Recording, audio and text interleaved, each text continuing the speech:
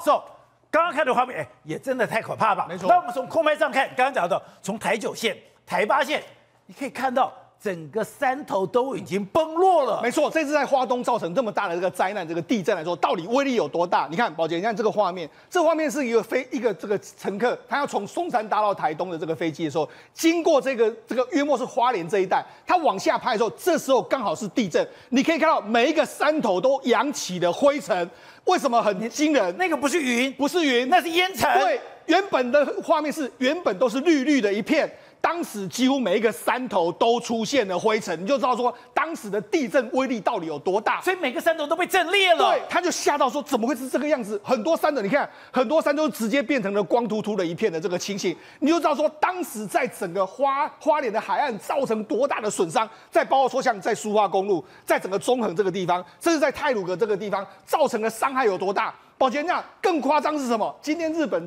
专家学者说什么？整个东部的国土被往西推了四十五公分，四十五公分，你就知道说这个威力到底有多大？那也不难想象，为什么整个东部的地壳对挪移了四十五公分，连与那国岛都位移了零点六公分，也影响到与那国岛。你就知道说这个这个动能到底有多多强？那也因为动能这么强的时候，我们就讲一秒钟真的决定你的生死。宝姐，我们必须说，现在看到越来越多从行车记录器的画面来看讲，真的你差那一秒，宝姐真的就是那一秒。而且我今天看这画面，我在想象，如果我在现场，是我是当事人，我能怎么办？而且你看这个行车画面，这行车行车记录器来说，就那一秒钟。你那一秒钟，的，你看没多久开始石头跟着砸下来。宝姐，你要是不赶快躲到山洞或者躲到明隧道里面去的话，我跟你讲，你绝对会死无葬身之地。哎，他的挡风玻璃都裂了。对，他就为什么？他就幸好刚当时的时候，他已经听到国家警报嗡嗡嗡嗡响起的时候，赶快往前开，往前开之后进入一个明隧道。你看他已经进入隧道了，就没想到还是有石头一直不断打。他即使已经躲在隧道里面，还是有这么多石头往下打。打了之后，你看后来就变成是黑漆漆的一片。他们就只能够等待那个地方最后的这个救援的这个机会，而且不是只有他一个，对，很多个人也一样。在这个你听到了所谓的紧急通报，你在做一个反应的时候，对，很多人都来不及了。另外一个是大家都在问说，这个骑士还好吗？宝杰，你看这是一个行车记录器，他刚好拍到一个骑士经过他这个地方。宝杰经过这个地方之后，你知道为什么我们都说他还好吗？你看这一台车，在他进入那个明隧道，他在没多久响起国家警报，进入明隧道之后，宝杰你知道吗？他是说幸好他没有多踏一步路，你知道，马上进去的时候，当时国家警报响起来之后，你看他第一个时间踩刹车，踩刹车之后，你知道，一秒钟之后开始大石头落下来，他就说什么？哎呦，幸好哦我们再往前的话，我们就 GG 了。对，宝杰真的会 GG。你看，没多久，在几秒钟时间，你看越来越多的落石开始噼里啪啦噼里啪啦开始往下掉。这很可怕是。他前面有落石，对，后面也有落石，它已经被困在落石堆中间了。明隧道上面其实也有落石，一直不断的掉。是因为明隧道还有哎，宝杰后来是可以说是用落石堆的种下来，那整个烟雾弥漫到什么程度？宝杰，那现在还看得到一点点天光，对不对？到最后的时间点，而且已经完全看不到，它玻璃挡风玻璃已经完全看不到任何东西了。你说那个土石淹下来，已经把明隧道口给完全封掉，对，一片漆黑，已经完全一片漆黑，里面已经完全看不到东西了。他们就说糟糕，我们只能够等待救援了。对，好，那你看这是它的后面的视角，后面视角也是一样，它进入到这个明隧道，你看后面已经开始啵啵啵，对，开始掉，所以它真的是幸好在这个明隧道，它往后往前，它真的可能都是死路一条。那大家就很担心。我们常讲那个紧波罗腿波波就这个样子，就是这样。那他最后也是被顺利救援出来。好，但是大家那骑士呢？对，那个骑士那怎么办？哎，那个骑士，宝姐，幸好他也是骑到后来哦，也是有遇到一个明隧道，他也能顺利躲在那个地方，他顺利也被救援成功。你看，连后面都一样，后面你看到这个现在为止，你也完全看不到外面的这个完全的烟，完全烟雾弥漫，也是一片漆黑。你看，你可以试想，他们算是幸运哦，躲在那里面的时候一片漆黑，外面全部都是烟雾弥漫的，或是说。这个花，这所谓烟雾相当多的这个状况，他们幸好还是撑到了救难人员，把他救出来。对，所以我们一开始看到那个，如果从飞机上的空拍，你只觉得哦，好像好可怕，哦所有的山头都崩落了，所有的这这个地区都是充满烟尘。对。可是如果你在现场，对，那才可怕。刚刚几个画面都是。他只要做错了一个决定，对，就是生死之间了。没错，你看这个这这个所谓驾驶真的是相当的这个幸运，他躲过了一劫。可是宝杰，有些时候来说的话，真的还是有不幸的事情发生的。包括说，你看当时的时候，在这个三月村这个地方来说，有些人要回去的时候，就你看他们这个台八线的这个三线崩落，他这这个人呢，他是幸好躲在这个明隧道里面，安桥，但是其其前面的人就很不幸了。因为他刚好这个落石砸下来的时候，这一台车刚好就被砸中，砸中的时候，这个驾驶就不幸的身亡，不幸的身亡。你说这就是那台驾驶？对，你看他砸下来的时候，你看整个上面，你看整个上面的这个所谓天，这个所谓他们的顶板顶板这些完完全都被砸破了，你就知道那个压力威力我到底有多大。那有一个这个刚好在他旁边还有一个骑士。骑士他就说，幸好他在骑车的时候被砸中，砸中之后幸好幸好现在已经这个无大碍，然后被这个送院治疗。那还有一个是什么？还有一个另外一个灵性员工是这样，他骑到旁边去之后，结果没想到开始有落石砸下来，砸下来之后，保洁那他说什么？你赶快来工程车啊！因为他赶快把把这个汽把这个汽车放在旁边，赶快跑到工程车上面。然后呢，他就说几秒钟，这就是这个工程车。对，他说几秒钟的时间，这个天已经变成是完全暗掉的这个状况。然后按下来之后，因为还有落石一直不断的砸，最后他们是怎么办？保洁他们怎么办呢？他们是走水路，因为旁边刚好是利物溪，对，他们就赶快跳下利物溪，跳下利物溪，溯溪水路，对，溯溪往上跑。因为什么？因为那个路后来保洁长后来路完全都被土石完全掩盖了。他们说幸好他们做了正确的决定，往利物溪走。否则他们可能真的，他们走利路线，对，否则他们可能也会完蛋的一个状况，就走利路线开车下去。刚讲的地震的时间是早上七点五十分，那个时候天已经亮了，天已经亮了，就整个烟尘，哎，对，即将哦天暗的。他们就说大概五十分钟、五十秒钟左右的时间，完全这个完原本有天光，后来都完全没有天光的这个状况。好，那我们就讲一这个所谓这个都是在中横的这个，包括说台八线上面的路。宝洁娜三月村也是。三月村，三月村在泰鲁阁这个地方。宝洁，那么他们现在进去里面来说很漂亮。对，你看进去里面来说，哇，到处都是大石头。你看他这个大石头都 完全冲进到这个三月村里面来来的状况。然后他们原本有什么木头的房子啦、砧板呐，完全都被砸碎。你看全部都，你看这么大石头把这个砧板完全砸碎的这个状况。甚至宝洁，他们当地有蓄水池，蓄水池，哎，这是钢骨、钢筋结构、水泥结构，把它完全把它砸破。你就说当时的威力，钢筋水泥都挡不了。对，你看那个石头一下来的时候，这个威力实在是太过夸张。那你看，哎，这个冲进来，他说这两有两颗巨石冲到这个里面来。对，那冲下来的话，你看这个。哎，那么大的这个动能往下坠的时候，你就知道说它扫过的地方，大概你可能真的会是寸草不生的一个情形。难怪孙月春讲说他要暂停营业了。而且现在我我认为说整个泰鲁格恐怕要经过非常长时间的这个这个休息的这个状况。好，那我们就讲还是有非常不幸的这个事情发生，就是我们讲到嘛，不是有一个这个这个这个精英酒店他们的员工，他们 shuttle bus 保险保洁站，这个也是真的惊死一瞬间。我们那天不是说吗？这个司机说他开进去的时候，通往后面。被巨石砸到，的，宝姐很不幸的，这个巨石就砸到一个高中生。这个高中生在那边算是工作人员，就没想，因为他被砸到之后，你看，就这个落石就砸到这个地方。你看，不只是生死一一瞬间，你可能位置坐了不不对的时候，或者坐了坐错位之后，你可能也被遭殃的一个状况。他砸中之后，后来他失去意识，然后赶快这个后来还是把他救出来，但是救出来，目前为止还在叶克膜的抢救之中。你就说，其实这这都是一几秒钟的时间就决定你的状况。最后我们再来看这个，宝杰，你看这是日本的研究，他说呢，经过这一次的这个地震之后呢，整个台湾呢被往往西边推，推了大概四十五公分左右的一个状，四十五公分隆起。日本的国土地理院特别研究这次地震，对，没错，它隆起了，结果没想到他还说，旁边的与那国岛这几个岛呢也都被位移，所以那是让这个能够让整个地壳都完全的变动，你知道说这个威力真的是相当相当的巨大。宇轩。这一次七点二的地震对我们来讲当然是非常大的一个灾难，可是它也展现了台湾的一个韧性。你昨天提到，我很多朋友是想，真的可能四五公里在那个蜿蜒的山区，而且是晚上，居然这样倒车，哎，四五分钟的路程，你居然开了两个多小时，那个是随时都可能掉到太平洋。可是我们的这些救难人员，我们这些工程师，居然完成了使命。不止如此，现在还在进行救援当中，而这个救援当中，刚刚讲多危险。我要攀爬这个石堆，我要从吊绳，而且每个人都在跟死神抢时间。对，宝哥，现在我们所有的救难人员呢，为了能够多抢救一条性命，甚至及早找到任何一个人，通通都在跟死神拔河，而且不顾自身安危。为什么会这样讲？因为各位，我们才刚刚给你介绍过，整个倒车四五公里，包括经过清水断崖，你知道那个多危险吗？这是极其危险的动作。清水断崖。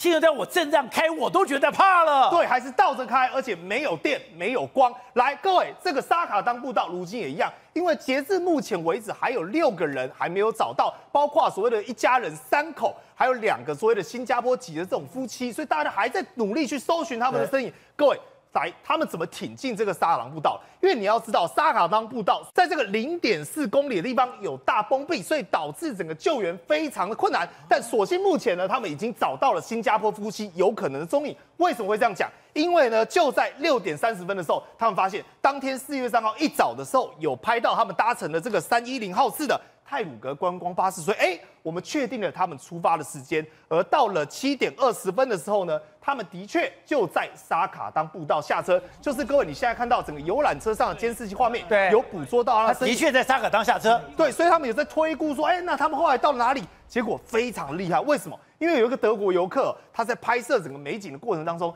很仔细的注意到说，哎，不对，这个照片的边边角角，各位就是你看到圈到那个边缘里面，不对哦，这个就是那个我们讲的夫妻档新加坡夫妻啊，说这就是他们身影，就一查时间是什么时候？七点三十五分。各位，这刚好是在整个地震发生倒数二十三分钟的时候拍到他们身影，而这个所在的位置在哪里？就是各位你看到了大景观平台哦哦，而这个大景观平台所位在的位置，刚好是所谓的沙卡当步道，走进去大概一公里左右的位置，所以他们在推估，如果按照他们的脚程，按照他们的路程，应该可以定位，很有可能会超过这个五间屋，而在五间屋跟大水管中间这个地带，搞不好整个夫妻俩还有可能人在这边，而且我们必须要在黄金时间赶快找到他们，搞不好还在这个地方。对，还有机会救他们，因为他们现在整个救援已经锁定了这个区域。好，对你刚刚讲的这个，在沙卡当进行救援的时候，充满危险。对，没有错，各位，我们虽然刚才讲的这个云淡风轻，你觉得哎就几公里啊，五一公里零点五，没有，各位举步维艰，连一百公尺都会很严重的困难。为什么会这样讲？各位来，你想想看哦，今天他们重型机具包括推进到零点四公里这个地方的时候，你知道遇到什么状况吗？怎么样？这边有大崩壁，就是说这边整个山体是滑落来。各位，就你现在看到的现象，你有没有仔细注意到有一个白白的倾泻而下？你想说宇轩这是什么？不好意思，整个山壁都崩了。所以在这个沿途的状况之下，那个地方路都没了，对，不只是没路，宝杰哥，是整个山体滑落，把所有的就这个地方。对，包括河谷，包括我们讲道路，全部能掩埋的都掩埋。所以救难人员的挺进到这个零点四公里的时候呢，就发生一个问题，说好，那继续怎么前进？对，走不下去了嘛，所以我们兵分三路。各位，你知道他们做什么吗？第一个，留第一组人用重机具，我们持续在零点四、零点五公里的地方往前推进，开路开挖。因为各位，整个它是属于河谷地形，包括我们讲的已经被掩埋的整个步道，它有个状况，落石很多，巨石很多，他只能一一的把它敲碎。可是还有余震呢，对，没有错，地质还破碎耶。你知道他们一边敲的时候呢，眼前是石头，对不对？就上方余震下来，因为又有下雨，又有石头，落石还在掉还在掉，还在掉，而且包括什么？现在不只是落石啊，还有落瓜满，就是这种泥土、泥沙混合雨水，还有一波一波的下来，所以就是他们非常险峻。在第二组人更辛苦，为什么？他们是走原本沙卡当步道的路，用人力的方式持续往前挺进。但各位啊，沙卡当步道在这一段已经不复存在了，所以他们为了挺进到这个零点八五的公里地方，你知道他们多辛苦吗？要吊绳索。他们等于说用这种绳索的方式，我今天这边找一个固定物，固定起来之后，各位那个是没有任何安全措施的。他们是攀岩过去，对你看到那个景象哦，你会触目惊心。为什么？因为那个斜体的滑落呢，大概就是各位你现在的画面。拜托一下，这个角度至少有六十度，哎，对非常的倾斜。然后你看，他们只能仰赖着这个紧紧担保的一条绳索，我在这边支撑着你，你在那边支撑着我，然后徒步前进。而且注意还有什么？因为他们是六人一组，然后当中还要带一条狗，所以变成是狗狗也有要注意它的生命安全。所以等于是他们看哦用这种匍匐前进的方式，然后非常危险，这样贴着山壁，对只能手握着那一条绳索，而且时不时还有什么，我就跟你知道吗？落石。落石然后一直噼里啪啦、噼里啪啦、噼里啪啦从上面，然后一下又有余震，你就知道为什么他们要这样冒着生命危险哎他。们简直是用攀岩的方式，这这等于行走的。对，因为各位，你刚才看到那整个，他们想说，哎、奇怪，他们干嘛好好路不走，要去走那种斜坡的地方？不是，没路了。那个就是原本的路，那个就是原本的沙卡朗步道，整个都已经被整个山体滑落，还在落石。对，没有错，而且这是谁拍摄的画面？都是救难人员第一时间拍摄的画面，你就知道，那他们就是因为已经确定说大概就是这个零点八五 K，我们只要用人力的方式再往前推进，因为呢，现在有人讲，有人从北部呢往南推二点二公里，说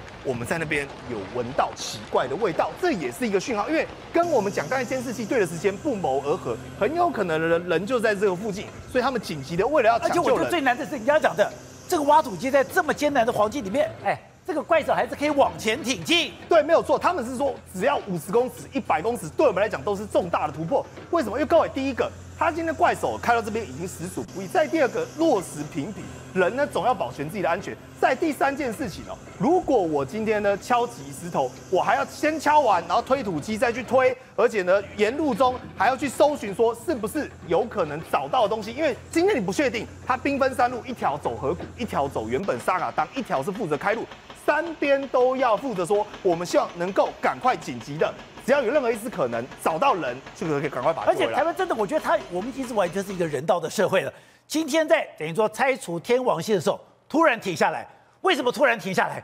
我要救一只猫。对，宝哥，我们刚才讲了，是倾尽全国之力，为了要找寻那六个人。而如今大家讲，天王星大楼原本今天进行拆除工作，但是中途突然停下来，因为发生了两件事情。一件事情是发生在早上，早上的时候发现不对，九楼怎么有动物在跑？宝哥，你知道是什么吗？猫不是，是鸡，有三只鸡活蹦乱跳。他们说啊，这生命力实在太顽强了吧！竟然经过这么多天，鸡还活着，而且还活蹦乱跳。那我们在边救人鸡了吗？没有，鸡自己它自自己找出路，自己往下跑了，自己跑到这个安全的地方。而他们想说，哦，这太神奇，就继续开始在在拆除的时候，发现拆到七楼不对劲，因为窗户旁有一个橘色不同一般的身影。就他们仔细看，仔细看，放大看，猫竟然是一只小橘，哎，小橘它很很聪明，它知道房屋里面有危险，所以它特别躲在窗户旁，但是金波头推波咯，所以这些救援人员竟然为了这只猫，赶紧把整个拆除位停工，而且透过所谓的云梯车升到七楼左右的位置，然后消防人员呢非常贴心，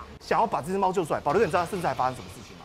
他为了救那只猫，因为猫它这么多天来，它有没有受到惊吓？有吓死了！那个猫根本就已经看到人就拼命抓，所以他为了救它，整个手弄到全部都是血，手被抓伤，对手都被抓伤，但是他就没关系，因为我就是要赶紧把这个小菊救出来，因为这种空间距离他也没有办法用网子，所以各位你看啊，在他抱的过程中，猫还不断抓他，但最后顺利把这一只小菊救出来，你就知道我们的救难人员任何一条性命，任何一丝可能都不想放弃。好，慧珍，刚才讲的这次对台湾来讲，当然是一个不可承受的灾难。可是我们也让全世界看到台湾的韧性。之前我们讲在救灾的时候，日本一定都是数一数二的。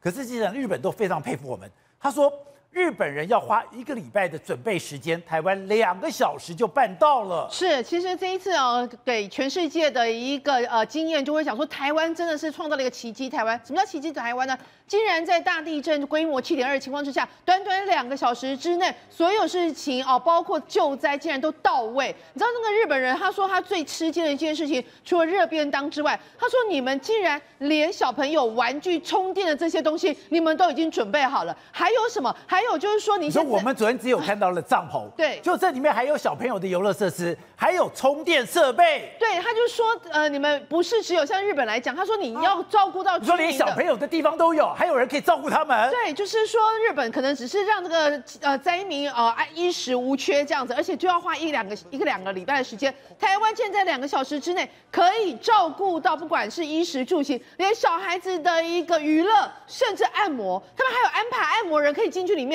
因为很多在经历这个大地震之后，其实很惊恐的，他会等于是透过这种方式来安定民心。对所以他就说，其实日本他们非常吃惊的一件事情是，台湾已经是把这整个所谓的救灾深入到你看不到的心灵层次。不可思议是，第一个你有帐篷，你有饮料，你还有热食，你还有披萨。对，然后还有小朋友玩玩具都有电可以玩，所以呢，他们就开始在检讨说，为什么？为什么台湾做得到？为什么台湾没有因为大地震而惊慌失措？他就采访了花莲的一个社会课的一个职员，你知道那个职员其实讲的也蛮有，就是蛮有，我觉得蛮有道理。他就讲到，他说其实我们还是就是按部就班，我们平常就有一些群组，那我们就大地震一发生之后，我们就在那个群组里面赖群组里面设置了一个防灾的一个群组，但是特殊的是，这个防灾的群组是政府人员、民间团体都会进来，然后他就说，我们就在这个群组里面，我们就会开始剖照片，然后我们就说，哦，比如说天王呃天王星这个这个部分已经开始倒塌，那有人民间单位就有人说我可以前进，我可以支援，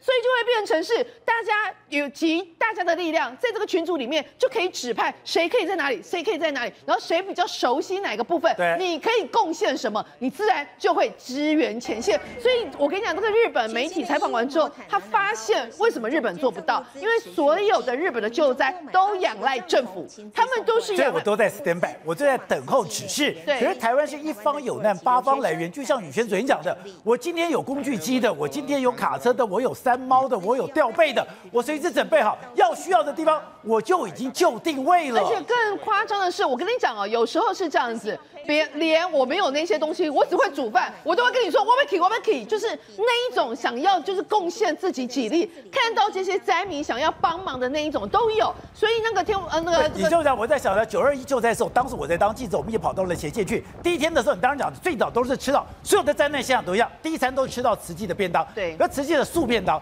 然后呢，我过了两哎大概快不到一个礼拜，摊贩就来了，然后就有热汤喝了。我后来还有三层肉可以吃了。对，就是变成大家，而且大家就，我觉得这是一个台湾的比较特殊的一种，就是说大家会觉得说啊，这个外在倒沙缸，我就愿意来倒沙缸，所以这件事情就会让人家特别觉得珍贵。然后另外一个状况是什么？就是今天连啊，除了慈济之外，今天连台积电都已经出现了。我们都知道哦，在上一次就是那个高雄气爆的时候，是在第四天，就是张淑芬就带着哦庄子寿，也就是台积电的副总，到了那个高雄那个气爆现场，然后他们就是会告诉他们说啊，呃，你们这些房屋倒塌什么的，因为其实灾民很惶恐啊，就说啊，那我们呐，他说没关系，我们帮你弄。结果就在短短的不到一个礼拜的时间，他把三多路那一大堆本来是那种弄得乱，就是已经因为气爆的关系，然后半屋子毁损的那一些东西，竟然到一个礼拜的时间，全部都弄得好好的，就让那些灾民非常感动，而且那个灾民就直接就是讲说，我们这个三多路应该要改成是台积电路，因为你们帮我们忙太多，而且台积出钱出力，然后甚至有个灾民直接说，哎、你 K 个比我不奶卡赫呢，然后他说他至少帮他省了五十万，然后这个就是让人家觉得说，你看，你看台积电那个，他们也会说，那个政府最困难的，包括国军在这一些这个继续救灾，这一些我们可以帮得上来的，我们来帮忙。所以你看到那些布条，台积电我爱你，而且你知道吗？即使是在一年之后，就是督导前线的台积电的副总庄子寿，他经过那边，他还特别去到那边看。那你知道这个庄子寿事实上也是一个，呃，我觉得我个人认为是一个非常的一个低调的人。也就是他在台积电，他是负责盖厂的。对就盖厂的时候，他把他盖厂所有的能力，全部都可以应用在救灾上面。你知道他是一九八九年就进入到台积电，他是专门负责盖厂的一个新建。然后呢，多年以来，其实他光在手上盖出来的晶圆厂至少有三十座，然后就是非常专业的一个人。那后来为什么他会就是重入这个救灾这个这个台积电的慈善？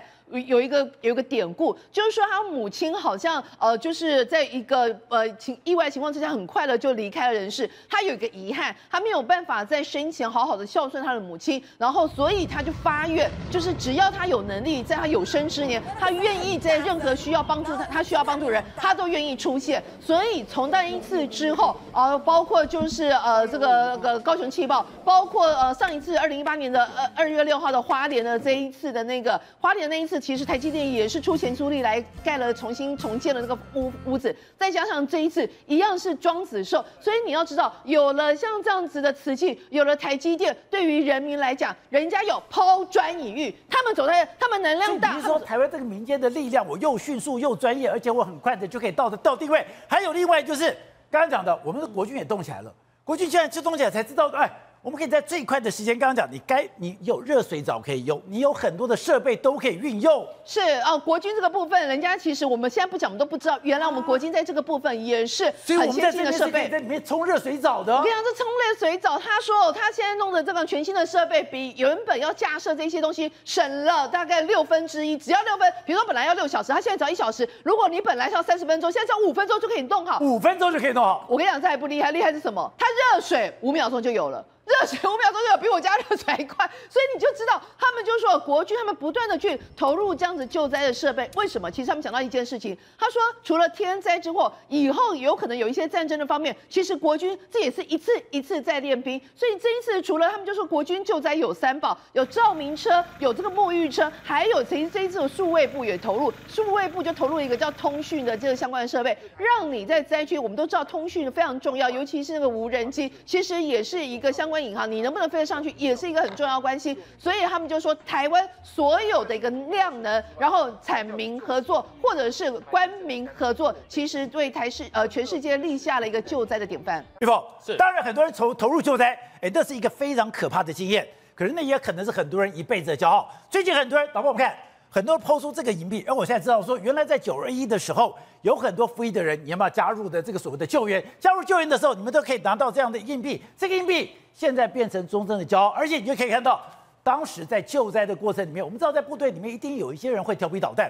妙的是说，当发生灾难的时候，所有台湾人都把皮绷紧了。就算你平常在部队里面调皮捣蛋，大家都全员一心。对，其实，在讲过去来讲的话，九二一那个时候南投就是最严重的一个地方。这个网友呢，他就在南投的中寮当兵，最惨的，对，重中之重。然后呢，他那时候占多少？占洞洞到洞两。然后呢，一点四十五分左右的时候呢，跟他一起同梯的才讲说，哎，奇怪，那个天空好像快裂开了一样。讲完没多久，突然哦，就出现那种鸣叫的一个声音。地鸣。对，然后接下来的话就开始天摇地动。然后那个时候，其实，在睡眠当中哦，他说很多的新兵直接就跳了下来，因为整个床就这样滚动来滚动去了。然后呢，开始就开始，然后到底发生什么事情？执行官那个时候呢，就大喊战备战备。大家那时候以为是什么？阿给我怕来呀！然后呢，转头一看，南投酒厂爆炸。他说，整个炸起来之后啊，这个天空的火焰。你说当时南投酒厂在第一时间就大爆炸，因为我听过很多南投人当时跟我讲说，当时什么感觉？你的感觉就像地被撕裂一般。对，那个时候就整个炸下去。他们说这是南投酒厂，就是说这个炸下去的时候，这火焰的高度多高？十层楼高。然后那个时候大家因为持续在咬的时候，才发现说不是老共打来了。而是地震，然后呢，开始天摇地动之后呢，大家赶快去找一些东西，找什么呢？找千斤顶，因为连长说这些老兵有没有带着千斤顶，赶快出去看看有没有需要救援的民宅，他们才把这些千斤顶全部都带出去。带出去之后呢，我们的军方都很有经验，对他们想说完蛋了，一去到地方的时候呢，他们说他们出去的时候救灾的第一栋楼，一看就知道它就是垮掉。然后呢，他看到有有有这一层楼，他上去找的时候呢，附近问隔壁的邻居。就说，哎，你们这个是两层楼的吗？他说不是，我们这个六层楼。然后呢，你站的地方就是六楼，所以一到五楼下去了。对，在地底下一到五楼下去了。然后呢，在整栋六层楼里面呢，总共住了十一个人，两老两小。然后呢，有七个人。结果呢，开始挖了之后呢，大概挖了十个都是遗体，完全救不出来。然后呢，这个阿公才出现，因为阿公那时候人在外面。可是他说，阿公那个表情感觉上欲哭无泪啊。然后呢，持续救援的时候呢，他知道。真的没办法，全部要动员起来。我们刚才讲，我们当然特别提到，哎，他们是台湾五十八炮六一四营的兄弟，对，就是这样子。然后呢，持续去找，他们说那时候找到了很多很多的一个遗体，他们说他们开挖了两百个人，大概只救出十个是活的，其他的都是遗体。所以呢，他说很多人在问他说有没有味道，他说在当时你真的只有感觉到家属的一个焦急，他闻不到任何的一个臭味，他就是想办法去救。然后呢，救出来之后呢？其实因为都没有人嘛，他们就怎么办呢？自己把军营的营帐给拿出来给一般的老百姓，然后呢，那战备的食粮都给他，他们就自己连续吃了一个月的战备的口粮，然后才有刚刚这一个这个纪念币，然后再加上三百块。他们说当时的话，其实他们在中寮真的是蛮危险的。所以说我们的国军哎，现在经过一次一次的灾难，一次一次也也算是演练，我们才发展出这么多哎。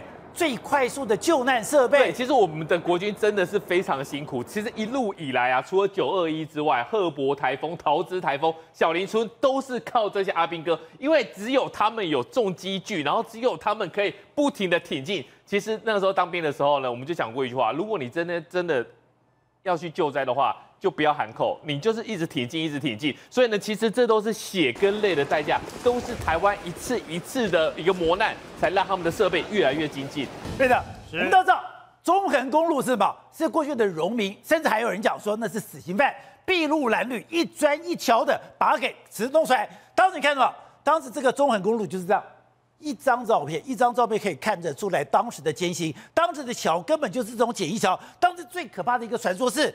你根本没有办法去敲，怎么敲？每个人一个人就吊了一个吊索，每一个人吊了一个吊索，然后意思就这样，一个是榔头，一个锤，一个榔头，一个锤，把这个路山壁给敲出来。可是发生了一件不幸的事情，也是一个地震。这个地震让很多人直接掉到山谷底下，后来才有所在现在的长春祠。而长春祠这边有一个金横的雕像，你说这个丁丁恒的雕像有一个神秘的传说，还有长春祠跟金鹰酒店也有神秘的故事。对，没错。当时呢，那么中部横贯公路，因为美国的专家说要花几十年的时间才能够把它给弄好嘛，结果我们伟大英勇的这个等于说农民弟兄们啊，就跟跟刚刚看的一样，用下垂的方式，然后呢，紧接着凿洞啦，那个炸药啦，一砖一瓦这样子打出来这个所谓的中部横贯公路。蒋经国那时候有好几次啊，特别到中横去嘛。但是也因为这样，所以中横因为这样子，在整个新疆这条公路的时候，造成两百多个弟兄们因为这样殉职嘛。殉职了以后呢，那么他们就啊，当然他们的英灵呢，那么就侍奉在现在的呃这个等于说哦中东东西横贯公路进去，就这次沙卡当步道的对面的长春池。就是在沙卡当步道对面的长春池，所以呢，你要进到这个等于说长春池要先进入一个隧道，叫做沙卡当隧道啊，就是这次很有名的沙卡当步道嘛。那么长春池就在沙卡当隧道旁边，它里面就是供奉这两百多位英勇的啊建造这个中横的这个英灵啊。民国四十七年的时候，当时呢，那么中横河流工程处的段长叫靳恒，靳恒他去视察整个中横的相关的兴建过程当中。花莲发生了一个至少震度超过五以上，因为当时的这个等于啊地震测的这个测震的这个仪器呢，没有像现在那么精准，至少有五震度五级以上的地震啊。结果大量的碎石掉下来，就在晋恒站的那个地方，那个石头不仅砸中他，砸也砸破了他坐站的那个木桥，所以晋恒跟另外三名的工人呢，四个人一起掉到下面的猎乌溪，就这样殉职了。那后来呢？那么为了纪念他，因为晋恒他这个段长他是两百多个人里面呢官阶最高的，所以呢后来为了纪念他，各位在燕子口，那燕子口非常漂亮的燕子口啊，那么进去的没多久地方有一个晋恒桥跟晋恒公园，还有个晋恒的铜像。哦，就这个铜像。对，这个铜像下面不是有个碑文吗？对，这个碑文就是蒋经国亲自为了纪念晋恒所写的。啊，所以这个铜像，我告诉各位，还有一个秘密是什么秘密？这个铜像不是铜做的吗？但每隔一段时间呢，只要花莲发生地震，它铜像头部的地方就会留下很像那个铜锈的东西，像血一样的东西啊。这个就是晋恒铜像的这个等于说由来，就是被砸的位置吗？就是它被砸的位置，因为它被砸动头部以后，然后整个人掉下去，那个桥整个炸断了，你就那个被石头炸断，你就知道那个那个威力有多大。那么为什么会讲到晋恒呢？因为晋恒跟花莲的天以前叫做天祥进化酒店，就是这一次的天祥精英酒店有一点渊源，还有托梦过，对，有渊源。为什么呢？因为呢，花莲很多地震，但问题是燕子口他们不是跟晋恒是这个等于说两百多位的工人啊，因为他官阶最高嘛，他等于是一个领袖，他们这些英灵的领袖啊。结果呢，因为连续三次，包括地震、包括台风等等啊。造成长春池哦，这个受损蛮严重的，它有一度都关闭啊，有一度都还不能进去啊，你连靠近都没办法。结果，那么其实，在哦有一个强烈台风叫做龙王强烈台风，这个故事是精精英酒店里面的这个啊领导人讲出来，我们才知道的哦。为什么呢？原来那一次龙王台风造成利物溪啊，就是这一次这个泰鲁阁这样子啊，旁边那个鬼虎神宫那条溪啊，利物溪，利物溪呢，那溪水暴涨。暴涨了以后呢，一度逼近啊，这个当时的酒店的锅炉区。那锅炉如果锅炉如果被溪水样淹过去，对，坏掉又会爆炸。所以当时那包括整个这个台，包括台北金华酒店的老板啊、董事长啊，包括大大家都很紧张啊，想办法，那没有办法，因为水雨还一直下嘛。结果呢，那么董事长在把这件事情很忧虑的事情告诉他在高雄的姐姐。高雄的姐姐是一个虔诚的佛教徒，所以他想到怎么办呢？也没有办法了，那只有做一件事来帮忙弟弟跟天祥精华。为又做什么事？他找他认识的得道高僧呢，就一直诵经，一直诵经，念了大概三个多小时，对不对？哎，溪水慢慢退了。那当然也有可能是因为雨下很多，下到那时候啊，溪水啊就慢慢慢慢退了嘛。退了又很高兴啊，天祥精华就大家好高兴啊，终于水退了。好，重点不在这儿，重点在当天晚上。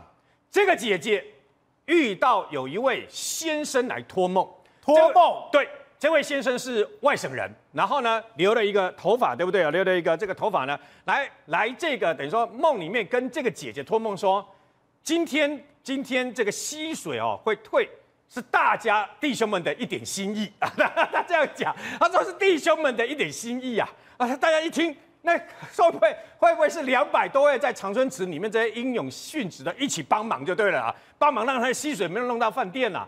他说能不能麻烦啊？就麻烦你跟你弟弟呀啊讲一下啊，什么意思？什么事呢？那么能不能啊来照顾一下我们这个长春池里面这些弟兄们？啊，就是说，因为长久以来都没有在这个有没有没有人去祭祀嘛，然后你受损等等嘛。他说我们这些弟兄们呢会。继续的来保护啊，包括这个天祥金华酒店这样子。对，那麻烦你们啊，就是啊，你就就就这个啊，逢年过节啦，或初一十五来拜一下，整理一下。就后来梦醒了，姐姐马上打电话给他弟弟，跟他讲这件事情啊。就弟弟赶快一查，哎，真的呢，在长春池就因为经过了这个等于说龙王台风了以后，那龙王台风之前还有一些地震的之前呐，整个长春池变得蛮蛮失修了，对，失修很很那个嘛，所以他们后来。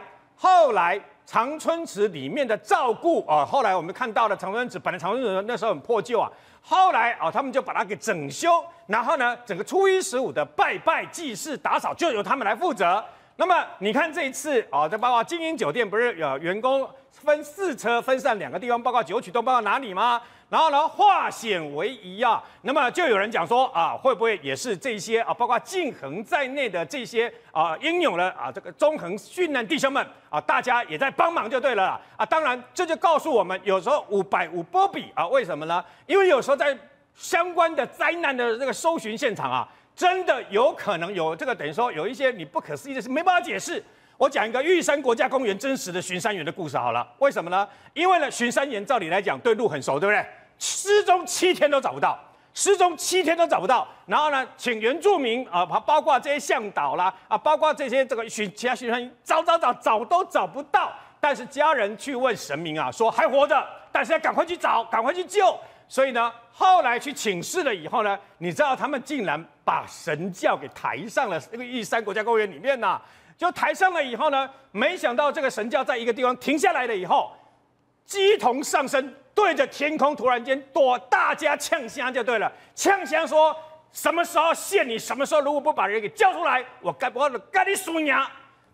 讲完以后，旁边有个地方树叶一直抖，一直抖到人了，找到人了，奇怪，你会说那怎么可能啊？我是在讲漫嘎吗？不是各位啊。这纯属你自己去参考，为什么？因为在现场的玉山巡山员，他们这些救难人员把事情写出来，十分钟后就在树叶抖的那个地方找到人了，找到人了。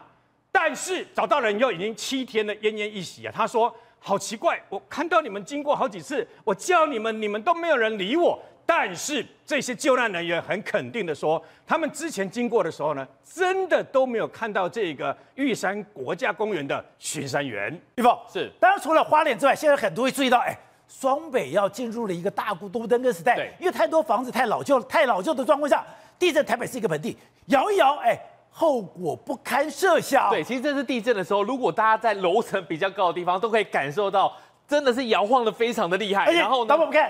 蒋万安还特别去看，哎，对，就发现台北的房子这么老旧，而且这个钢筋都已经裸露了。对，这个就是这次地震之后呢，在中华路二段那个地方，你看到这个柱子，这个柱子应该是整栋大的建筑物里面通天柱。你看在这边，不管是里面的钢筋捆筋捆的有没有好，这个来讲，整个抗国力都已经呼起，代表什么意思？这，是捞啊，那不会没有支撑力了？对，这已经没办法，这个这个楚博花到个短，所以呢，大家在想说，如果是台北市真的遇到了大地震，会不会像墨西哥城一样，一个盆地的效应，摇一摇？大概就倒光了。所以说，台北市现在这种老房子是碰到这次地震，钢筋都已经裸露了，甚至你的主梁外面外层都剥落，外层剥落里面你的钢筋还爆开。刚刚讲的这个都剥落了，大家看到哎，这个墙哎，而且这个嘛。这个是简历耶，对，这个代表什么意思？代表说呢，它已经失去它结构的来讲的话，其实除了这几张照片之外，这一次在台北市、在新北市的话，很多的简历墙都是呈现什么 X 型，X 型就代表什么意思？代表已经摇到坏掉了，就像是墨西哥城一样，它很多东西都变成 X 型，所以呢，这个盆地效应如果出来的话，大家都想台北市到底要倒多少栋的一个房子？而且大家现在担心的是。现在后面有一个所谓的百年地震的周期已经到来了，因为这次你只有花，不是只有花莲的地震七点二级，刚刚讲在印尼居然有一个深度只有九点一公里的六点零的一个地震，现在日本也有发生了所谓的浅层地震，哎，怎么台湾周边的国家都在动？对，在花莲的地震之后呢，其实发生了非常多的一个地震。现在来讲的话，最新的状况就是印尼，印尼这边的话发生这是规模六，规模六，而且它的震度，它的震央非常的少啊，非常浅，现在只有九公里。除了印尼之外，我们隔壁的日本也在八日的上午，九州也在震，也在震。一个是规模五点二，然后呢，另外来讲的话，这个东西各处都感受到，大家就想到一个很可怕，日本人最怕，而且这边有一个什么南海的一个海潮，海潮，而且韩海海潮在这个地方，其实一路震下来的话，就会影响到台湾。最可怕的是说，南海海潮一有记忆以来的话，你看一一一下来，其实已经将近百年，南海海潮没有发生大地震的。如果南海海潮在这个时段发生大地震的话，不只是台湾，日本他们也怕。如果真的发生南海海潮的大地震的话，那个规模是九以上，规模九以上的话，他们会发生什么事情？他们说日本。日本就会消失了，因为那边有一个马里纳海沟。如果这样震下去的话，其实日本整个岛就会出现你说灭岛。日本人的什么的动漫很多的这个小说里面讲日本沉没，对，日本沉没就在讲这件事。对他们一个集体焦虑，就是说，如果真的南海海潮发生大地震，震下去之后呢，日本沉没到马里亚海沟的话，这个就是他们的集体焦虑。等等，我们刚才讲那个是九二一大地震的时候，很多人写回忆录，写回忆录的时候说，哎，在部队里面，有些人调皮捣蛋，有些人这个所谓吊儿郎当。可是你碰到灾难的时候，每个人都把皮绷紧了，而且完全按部就班。他说完全符合台湾人的这种性格。台湾人平常看起来吊儿郎当，可是碰到了天灾的时候，哎，马上就就定位了。呃，台湾人本身有一个良善的一个个性的，他彼此会互相帮忙，尤其碰到这种危机的情况之下，尤其在我们的我们台湾在这个战后。发生最大的第一次灾难就是九二一是九二一九二一地震嘛？对，九二一地震是一九九一九九九年的九月二十一号，当时台湾还正在选举，你记不记得？对，当时你应该还在线上当记者，那时候我也在呃环球电视台当董事长，我也那时候我也也负责新闻，有一部分新闻的工作了啊。在九二一地震当天晚上开始的时候，我们已经收棚了嘛，那时候大概是一点四十七分的地震。都开始就准备出去吃宵夜了，突然开始震起来的时候啊，就自动全部自动，我还没有打电话给任何同仁，所以所有的新闻的主管全部回来了，全部自动回到棚内，回到就通通集中在这个这个副控室里面，对，全部在看到底什么情况。没有要求所有人马上回到公司，通通都回来。当时我们的新闻部经理是李永平小姐了啊，她就通通自动回来。总经理是杨杨宪宏先生。所以全部都自动定位，自动定位之后就一直看到整个副在在副全部挤在一个小小的副控室里面看整个状况，因为不知道怎么办嘛，又不知道什么情况。结果第一个知道地震的讯息，从外电上看起来是 CNN 报道台湾地震，然后谁发言你知道吗？谁发言？Clinton 发言，在地震之后大概十分钟左右，这美国总统克林顿从白宫发言宣布。这个台湾有极非常重大的地震，有极大的灾难，就是说，这台湾的这个处理危机的传统跟力量，当时有个非常重要的决策，我觉得第一时间的决策，在晚上那时候，李登辉总统做一个决定，动用部队，那动用部队这个权利，只有中华民国总统有这个权利。对。那一般来讲的话，他不愿意动这个东西啊，不是我们们，比如看大陆很多赈灾，看到军人在那边 救灾，那是作秀了。那台湾是第一次动用部队下去，全部部队开始下车，军队全部动员了。当天呢，那当天还有，后来我们现在事后懂国际政治，第一个想到老共会不会这时候来啊？对，老共这时候如果来，老共来犯台的话，那时候台湾就脆弱不堪呐。所以为什么这后来到了第二天、第三天的时候，我们可有美军的。一个一台 C 幺三栋飞机来到台湾来救援，对，救援只是做了一个在松山机场做了一个 landing 的动作，你有没有印象？对，呃，landing 动作丢了一捆什么什么救弹的什么，我不知道那是什么东西的。就我我印象中这个画面呢，就是栩栩栩如生啊。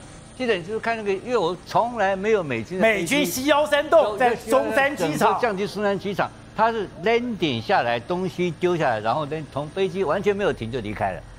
啊，他做了一个完全没有熄火，呃，完完全没有熄火，就这样子下降停下，非常缓慢的移动，然后把舱门打开，东西丢下来，然后马上就起飞，哦，连停都没有停下来。那个动作，现在我们事后，我现在懂，对国际政治更了解，说哦，那个是一个宣誓动作。对，他是他是因为我是救援，对，所以我的美国空军美军来了，军机可以停留，可以到。